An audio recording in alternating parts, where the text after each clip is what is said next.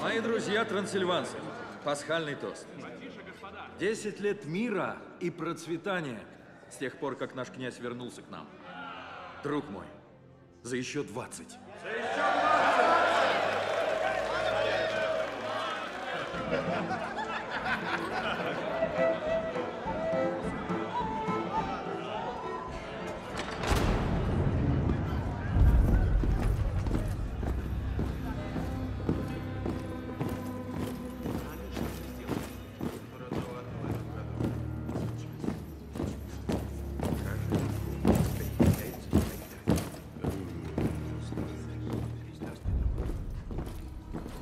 Хамзабей, добро пожаловать.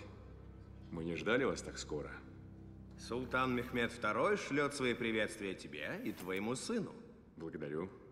Его дань готова. Влад Цепиш.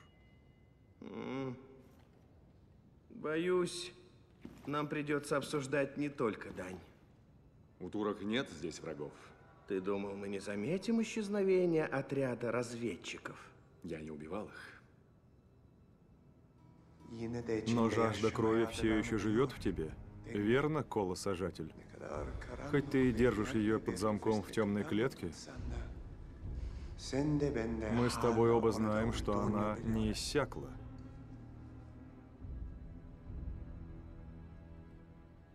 Дань султану. Бери и уходи.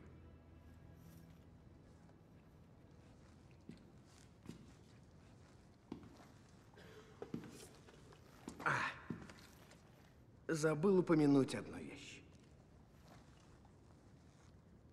Султан требует тысячу мальчиков для службы в рядах янычаров. Вы не заберете наших детей! Янычары?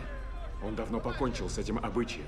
Когда воины забирают ребенком и растят так, что ему неведома иная жизнь, он будет убивать без лишних вопросов, умирать без сожалений.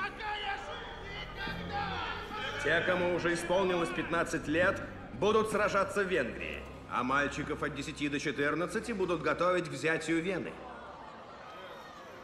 Султан ждет повиновения. Вспомни сам. Разве твой отец не отдал тебя без боя?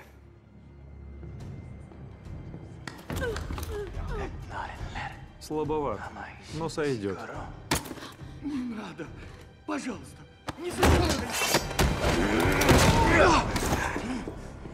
Ты знаешь, кто я такой? То есть, кем ты был? У тебя нет армии и нет выбора, князь. Повинуйся нашим приказам или поплатишься.